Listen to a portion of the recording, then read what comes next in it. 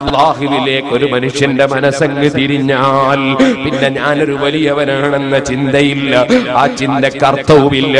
ഈ പാവപ്പെട്ട ഞാനിപ്പോൾ നിങ്ങളോട് സംസാരിക്കുന്നു പക്ഷേ എനിക്കിത് കഴിഞ്ഞ് മറ്റൊരു സ്ഥലത്ത് പ്രസംഗിക്കാറുണ്ടെന്ന് ഞാൻ നിങ്ങളോട് പറഞ്ഞുവെങ്കിലും ഈ പ്രസംഗം തീരുന്നത് വരെ ഈ സ്റ്റേജിൽ നിന്നിറങ്ങുന്നത് വരെ എനിക്ക് ആയുസ്സുണ്ടോ? ഇല്ലേ.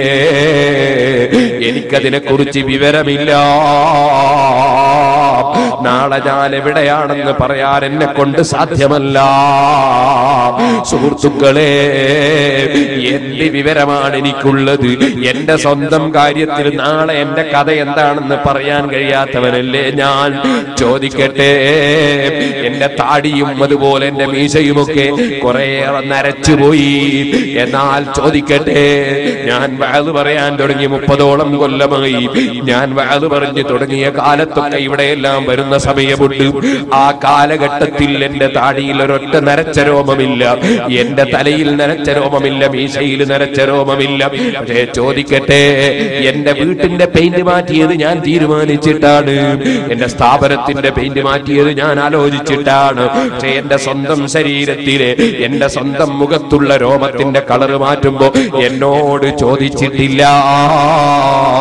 ഞാൻ അറിയാതെ എന്റെ മീശയുടെ കളർ മാറിപ്പോയി. ഞാൻ അറിയാതെ എന്റെ തലയിലെ രോമത്തിന്റെ കളർ മാറുകയാണ്.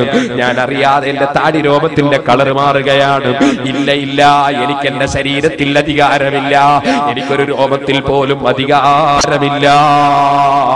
അധികാരമുള്ളവൻ ഒന്നേ ഉള്ളൂ. അവനാണ് അള്ളാ. ആ രാജാവിന്റെ പാവപ്പെട്ട അടിമയായി ജീവിക്കുന്ന എനിക്ക് അഹങ്കരിക്കാൻ അവകാശമുണ്ടോ എനിക്ക് അസൂയ വെക്കാൻ അവകാശമുണ്ടോ? മഹാനായ പുറാത്തങ്ങളെ അടുക്കലേക്ക് ആയിരങ്ങൾ കുപ്പിയും വെള്ളവും കൊണ്ട് വരികയാണ്. ആയിരങ്ങൾ അതാ അവിടുത്തോട് പറക്കത്ത് ചോദിക്കുകയാണ്. അപ്പൊ എന്റെ മനസ്സിലൊരു തോന്നൽ ഞാൻ ഉള്ളാളന്തങ്ങളെ മകനായില്ലല്ലോ. എന്റെ അടുക്കൽ അങ്ങനെ ആരും വരുന്നില്ലല്ലോ. ഇങ്ങനെ ചിന്തിച്ചാൽ ഞാൻ പടച്ചവനെതിരല്ലേ കാരണം അള്ളയല്ലേ കൊടുക്കുന്നത്?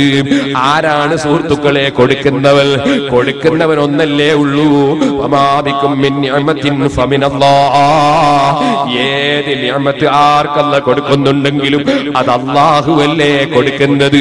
അപ്പൊ കുറാത്തങ്ങളെ മുന്നിലേക്ക് ആയിരങ്ങൾ വരുമ്പോ അത് അല്ല കൊടുക്കുന്ന കൊടുതിയല്ലേ?